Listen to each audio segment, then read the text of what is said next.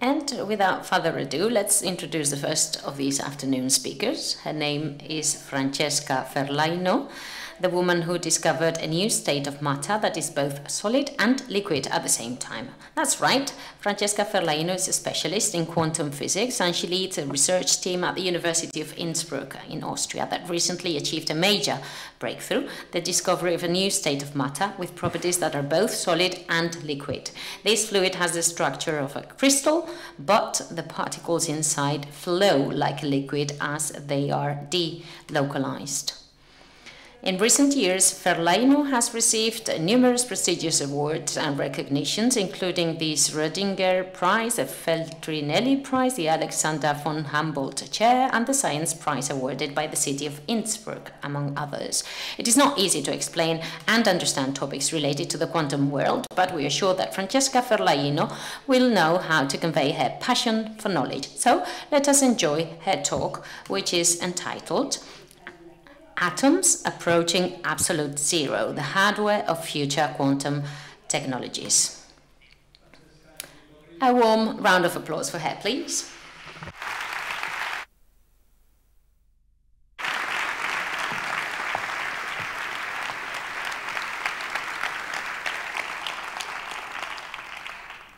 So it's, uh, it's really a fantastic honor to be here and, uh, and I would like, since I'm the first one of this, this afternoon, I would like really to take a moment to thank uh, uh, Pedro, Pedro Miguel Echenique, for having really the vision of creating this moment of passion of knowledge.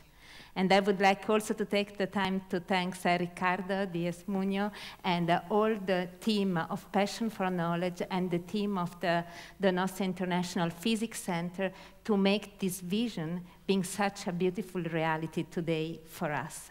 And of course, for us as a scientist, it's already very clear that all this needs support from the institution, and so also from our side, I would say thank you to everybody.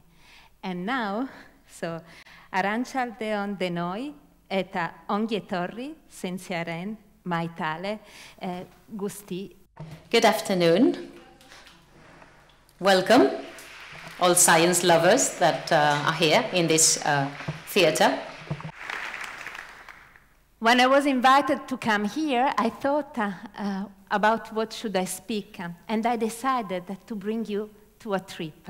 So a journey with me in a fantastic new world, which is the world of quantum physics. And so we will go together on the, some main thought that were, let's say, uh, fixing the path of the development of quantum physics. And just at the end, I will tell you a little bit of what is our work.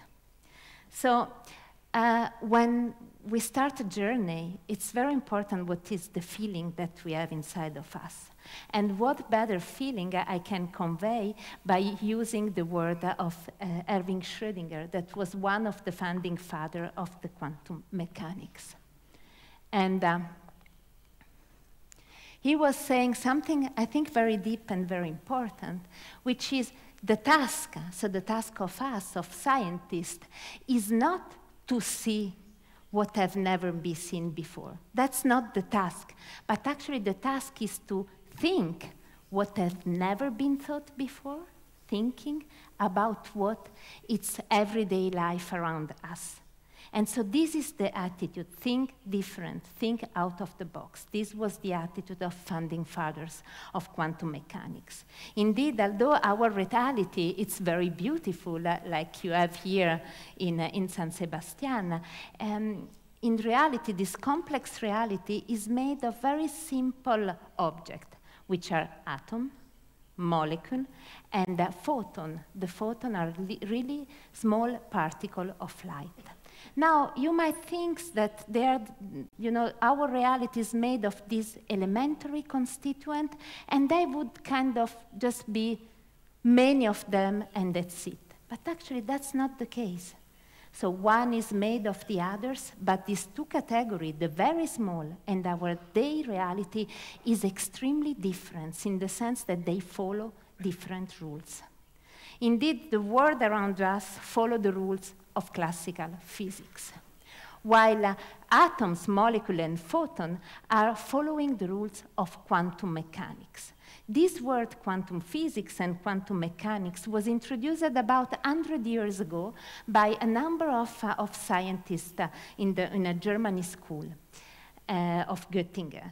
And, uh, and actually it was meant to give the sense that they would study the mechanics, uh, so, you know, the law governing the behavior of something which is very tiny and typically also very cold. Let's say temperature is not uh, let's say, a desired effect in quantum mechanics. And, uh, and this was 100 years ago, and many, many things happened. And uh, so many things happened that since a couple of years, we are speaking about a second quantum revolution. And I will try to explain you in our journey together why we speak about quantum revolution. What is the point? And actually, in a few years ago, scientists around the world write down like a white paper showing the new opportunity of quantum physics because some maturity in the understanding was also showing new door to be open and new opportunity. Just to give you a sense, a few years after this quantum manifesto, this white paper, so the European Union picked up the challenge and decided that quantum physics and the related quantum technology are one of these disruptive new technology, which should be supported by a flagship uh, technological program. And since then, many things happen around the world, and um, kind of we have a number of development and the word quantum became extremely popular and uh, very much searched on Google. And actually you see that also the support of, uh, let's say, financial support to this domain of knowledge and science grow enormously. So by now it's about worldwide about 22 uh, billion dollars, uh, which are now invested in different way and in different country uh, about quantum science and technology. And of course, course, when such a, a, big pressure is on the desk, there is also geopolitical dynamics.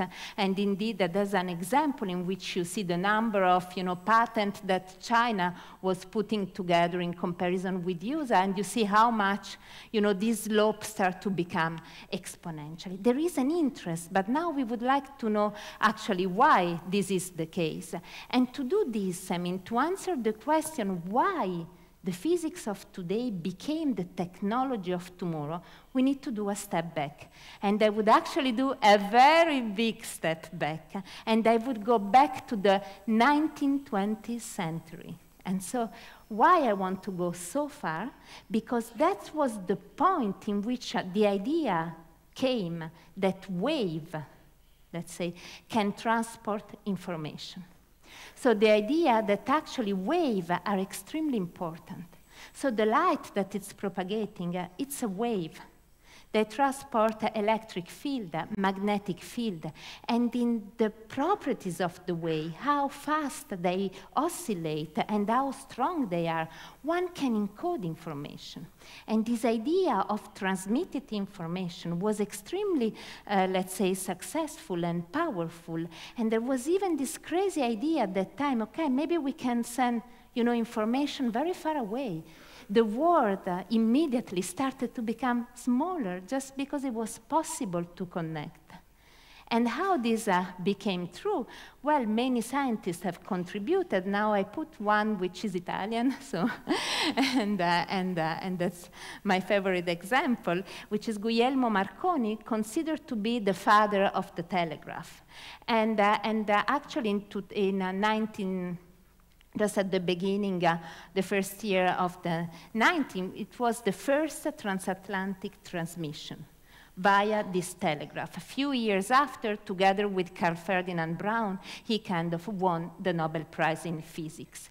But already, I mean, at the telegraph, sending, you know, message over big distance. Okay, which message? What is the language? An easy language you know, that you can use in, in sending information. Well, this easy language, we know, each of us know, have heard, that's the Morse code. Why I put uh, this example so far away, which has nothing to do with quantum physics? Well, because the Morse code uh, somehow is something which, let's say, convert the alphabet, A, B, C, D, and so on, in a sequence of just two symbols. One is short, and the other is long. Short, like A is short, long, B is long, short, short. So there is this idea that by having two value, so by having something binary, just two value, one can encode information. And this is actually the precursor of the same idea that it's used to have the bit in our computer. So in our, our computer, speak a language, a logic language of 0, 1, 0, 1, 0, 1, this binary logic. There are two values. You can call it 0, 1. You can call it down, up. Or you can call it low, high. But it's always two value. A very complex information you can encode in a string of 0, and 1. Maybe a very, very long one. And, uh, and now that's the logic, that's our classical logic, how, let's say, computer science works today or until today, and uh, that's not enough. So the logic is a language. So now there is the language of zero, one.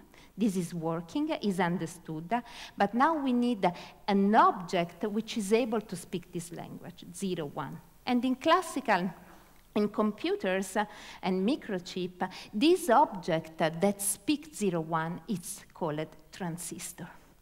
And actually, the first use of this type of computer or big calculator, you might know from the movie of the Turing machine, and actually was a huge machine, here is just one, uh, one photo, that was used to actually crack, uh, let's say, a crypto system that was used during the Second World War by the German Reich. And, uh, and here, basically, all these objects were precursor of the transistor. And, and inside uh, the Turing machine, what you had, it's, uh, let's say, this vacuum tube here. Pretty big, it's kind of uh, a little coin size, which were able to give two value, and so to calculate based on this logic. Then the technology developed enormously in the 50s, and you had the first transistor, much smaller. And after the development of transistor, there was another huge boost in technology that was the user uh, the user of uh, integrated circuit, very small piece which contain many, many transistors. How many transistors do you have in the microchip of your computer? How many transistors are today in your computer? How many, so now you buy more and more powerful computer. How many of these objects that can speak 010101 do you have? Well, funny enough, there is an empirical law, which is amazingly good to be empirical, which is called the Moore law. And so it shows in this graph that since the 70 to roughly today, every two years, the number of transistors, the small object, in your microchip, in the compute, in a computer, is doubling. And today, let's say, the most up-to-date, uh, uh, let's say, processor that you have has about, uh, you see, very big number, 50 billion of transistors are in this integrated circuit. Okay, but then something doesn't, you know, somehow we have more and more of this transistor, the computer are becoming smaller and smaller, that sounds kind of strange. So we can ask what is the ultimate limit? And then what does it mean, more transistors, smaller computer? Where are we now? What is the limit? And now I show you two figure of merit uh, for the limit. Oops. And one is about the size. How big is now a transistor? At the beginning, at the vacuum tube that I show you were like a coin. And now we are going to size uh, which kind of go below the size of a bacteria. And the ultimate size of one of these uh, little transistors is kind of in the direction of a single atom. You can ask, okay, now how much current do I need to control one of these objects because I don't want to spend and have gigantic bill at home because I'm doing something on my computer? Well, also here, technology advanced quite well, and you enter in a regime that you almost need very few, and at the limit, one electron to control. Size of one atom, one electron, the physics of the very small things, we are entering in the quantum world. We are entering to the necessity of asking ourselves what is the, the law governing this very tiny object. And this is to say that from the technological point of view, so the watershed between classical world and quantum world is getting narrower. Just because the classical world is hitting now the bridge of quantum world. But that's not the only story, okay? That's just one part of the story. And I will tell you the other part that actually interests me even more. And uh, I will tell you what does it mean quantum? Because we speak about quantum a lot, but what it is. Maybe the first very important thing is related to the idea of energy. No? So our perception of energy is the perception of, for example, heating up something. You increase the temperature of something, the energy is rising, eventually the water is boiling, and eventually all the water is evaporating. We are giving energy. In our idea of energy, I can continuously give energy. But in the quantum world, the energy, you can just give it by one specific amount. You can, so let's say, either you give exactly this energy or nothing happens to the system. What does it mean? If we want to heat up something uh, in our microwave, and the microwave is quantum, and our food is quantum, it means that if you put one minute, then maybe you give two less energy and nothing heat up in your micro microwave. But if you give one minute plus one second, boom, it's sitting up. Pa, is a step. The idea is a step. Quantization adds a specific amount that make you increasing energy. Now, more technically, this is shown here. This black line corresponds to energy level. Let's say that the lowest one is zero, then you have a certain amount and a certain amount. This difference between these two values, this amount is the one that you need to give if you want to excite something. If you give less, nothing happens. And so if you see this on a more geometrical point of view, the continuous classical feeling of energy, heating, and so on, it's kind of continuous. And when it's quantized, you need to give this step. That's very important because now quantum objects are more protected. If I have something in one state and it's perturbed by some energy, nothing happens. It just needs really a lot of energy to be excited up. That's important. Another thing that is important is that you have lasers, and we already heard beautiful talk about lasers.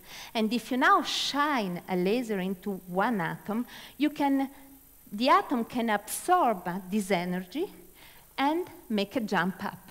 So the laser light can, is a very precise tool to control, let's say, the energy and, the, and then the state of an atom. I am in the ground state, down, very low energy, nothing happens to me, or I am in an excited state. And now you see, now just let's focus into these two levels, A1 and A2. Well, Let's remember what we said about the Morse code, what we said about 0, 1. I mean, you can think that these two levels are actually really a very good transistor because you have these two levels, 0 and 1. But actually, there is even more because atoms are special objects, and quantum mechanics teach us this. Because what is really the additional power is that you don't only let's say, the level, the energy level of an atom, it's not only, it doesn't have to decide between zero and one. The incredible things is can, the system can be a little bit here and a little bit here. It can be in both states simultaneously. This is the first extremely difficult and counterintuitive law of quantum mechanics that we call actually superposition principle.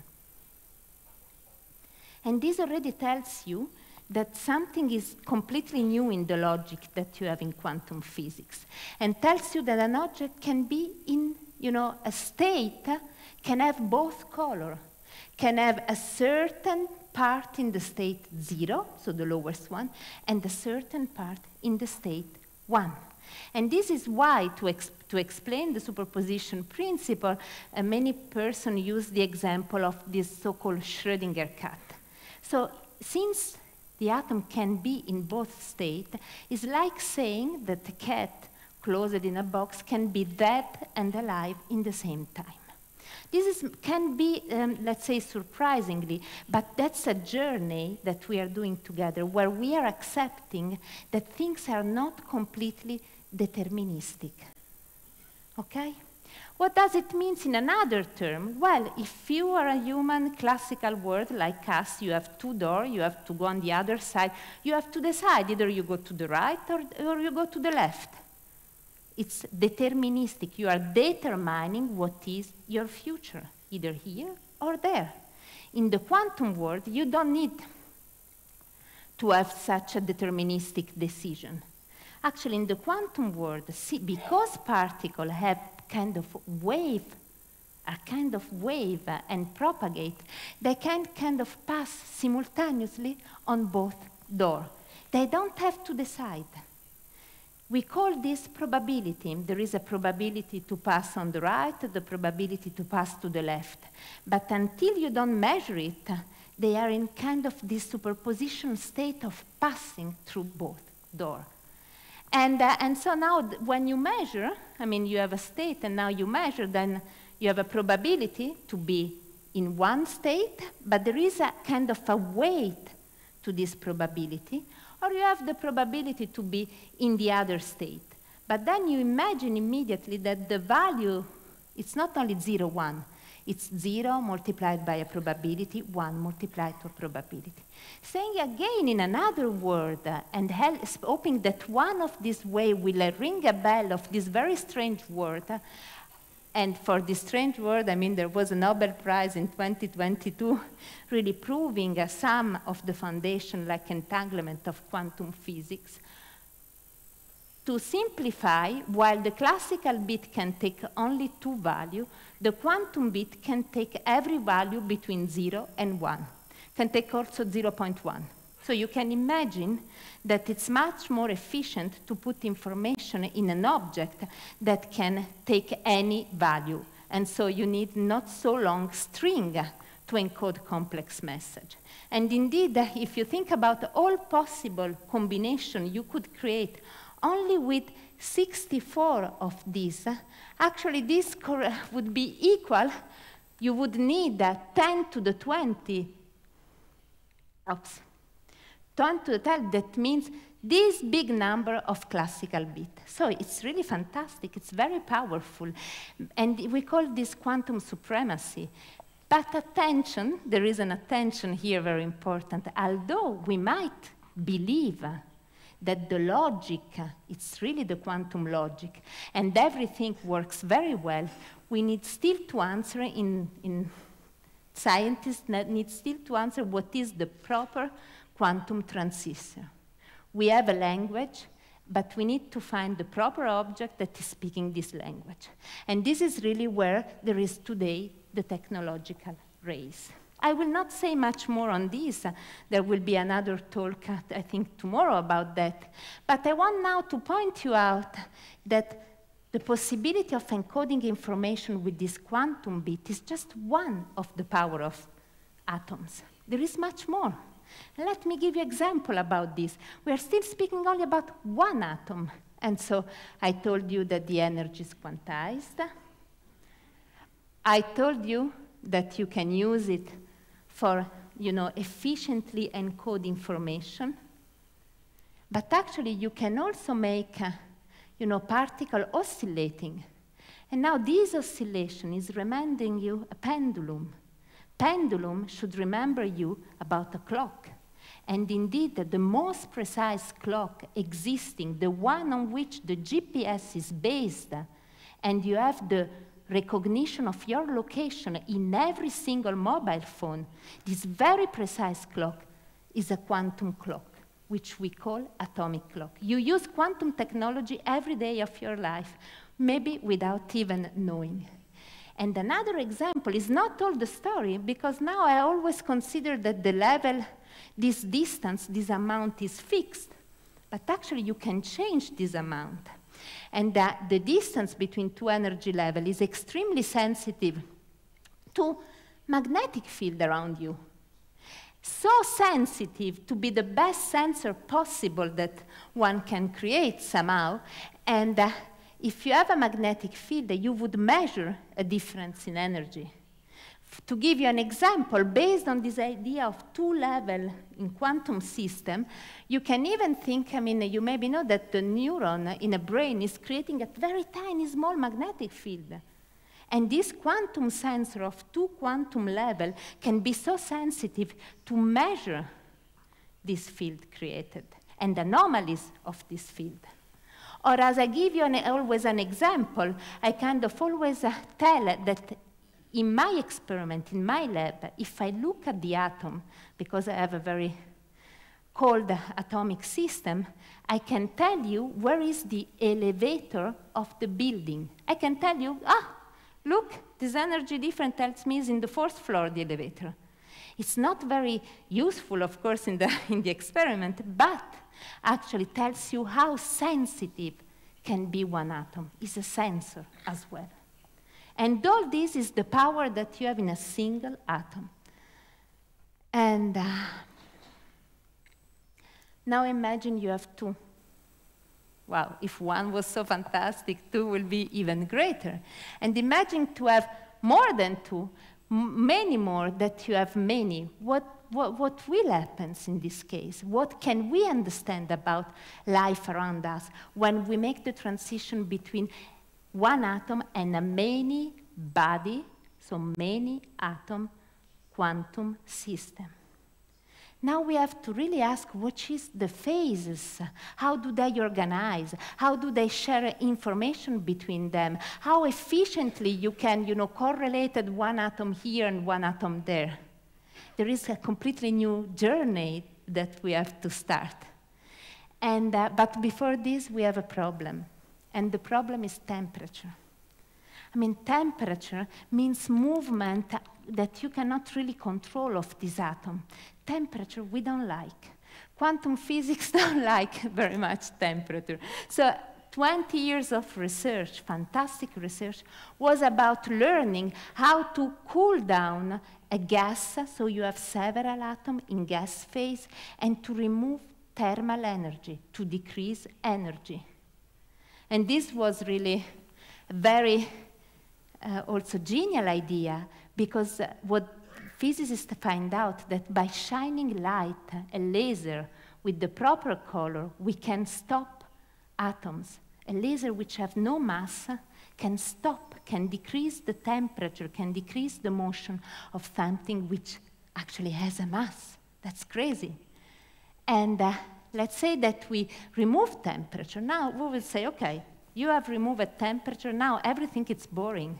Somehow things are not moving, it's everything frozen. No. Now something else happens. You decrease temperature, and what happens is that every single atom loses the identity as an atom. It loses the identity. It's really like this. And it be became a wave.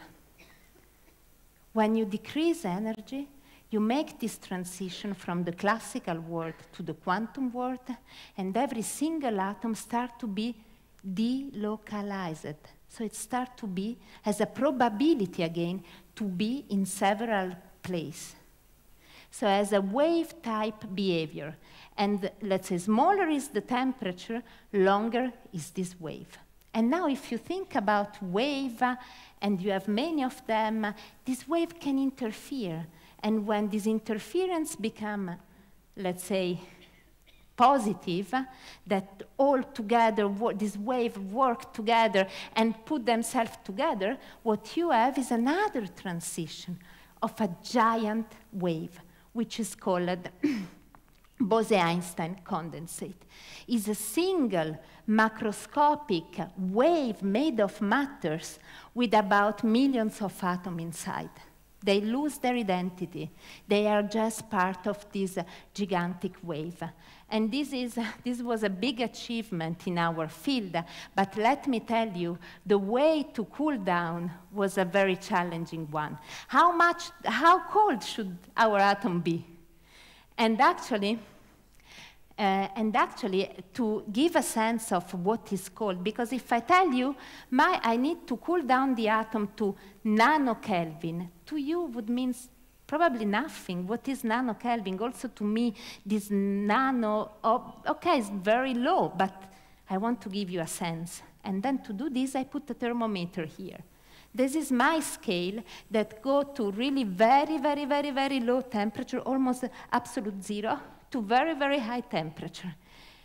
Imagine that on this scale of thermometer, the hottest place in the world and the coldest place in the world are just 2.1 on top of the other.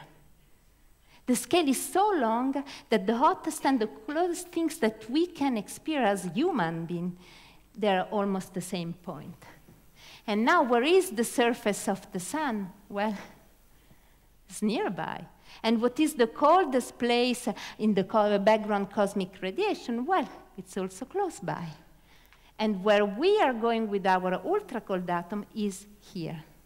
Should be really extremely cold at a point that we can even not measure anymore temperature. And uh, to show you a bit how it looked like, in the experiment, we create a machine we build this machine, we manufacture, we have a beam of atom moving very fast, and actually you might notice that while they move, they are in this uh, blue light. They are absorbing this light and they're getting slowed down by the light. And eventually there are other light with other color that is kind of starting to collect all the atom in the center. That's gas.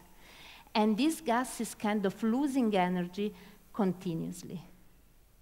This phase is called magneto-optical trap, so it's still absorbing and emitting photon.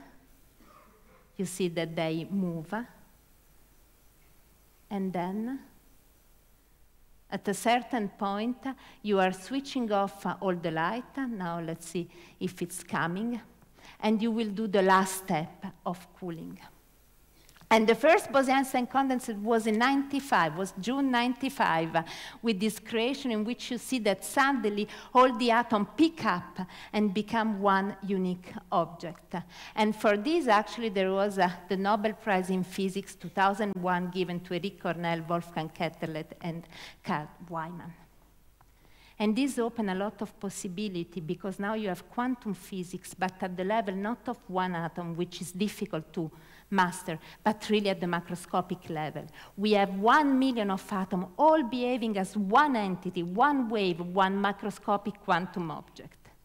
And what we are kind of doing uh, in our experiment, it's uh, building up an object like this one that's really photo in our lab. There is a lot of mirror and a lot of light, and all this is manufactured at, in, at home. You cannot call a company and buy something like this.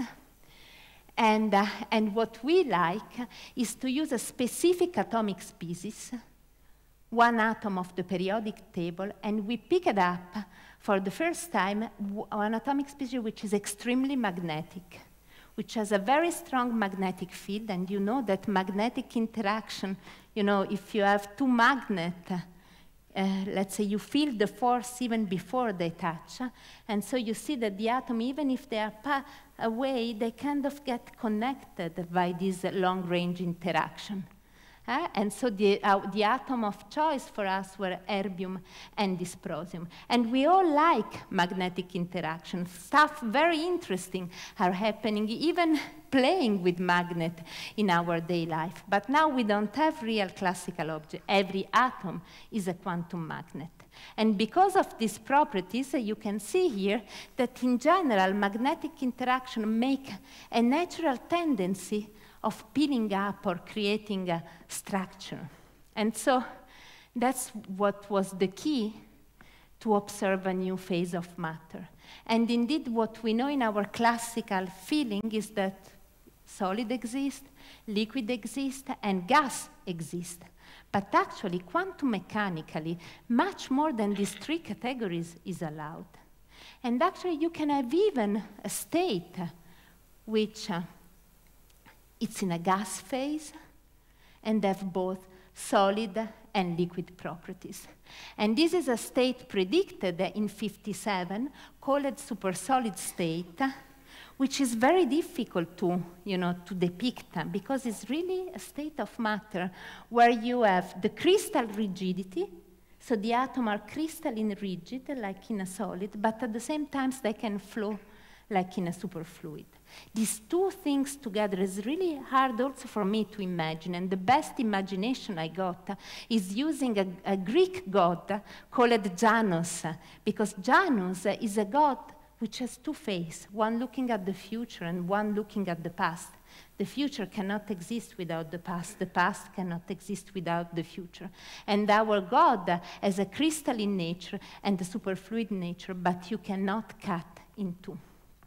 And, uh, and actually was very much debated whether a solid can be superfluid at the same time. And there have been theorists uh, in the 50s, uh, as you see here, that said, okay, these two properties cannot be combined. It's a little bit like the Schrödinger cat, dead and alive. Here we have a many body state, crystal and, and fluid at the same time. So there was a physicist, very prominent, saying that these two orders are competing, cannot exist together. And there were others saying, yes, that's possible. Quantum mechanics allows it. And actually, both these four gentlemen had a Nobel Prize, so it's very high level discussion. It's a, highly non trivial question, and there was a lot of experimental effort. And so, recently, a few years ago, it was actually possible to observe the super solid state using this ultra cold atom. Thanks to their magnetic interaction, you see that a gas, it's really a gas, it's self-organizing, creating pattern like a crystal, like wave of density, but at the same time, each particle is indistinguishable and can flow everywhere. You cannot say which one is localized and which one is delocalized like in a fluid. And then you can also have a very interesting pattern. So that you have to figure out a gas that self-organizes and every particle can flow without any friction. And with this, I would like now to conclude and uh, to close our journey, I conclude with another sentence, not from a quantum physicist, but from Nikola Tesla. And they say, and I think that's important to keep in mind, that the scientific person do not, does not aim at an immediate result. We don't aim at an immediate result. But his her duty is to lay the foundation for those who are to come and point the way. And this, I think, was the spirit of the founding father of quantum mechanics and seeing how much have been developed since then.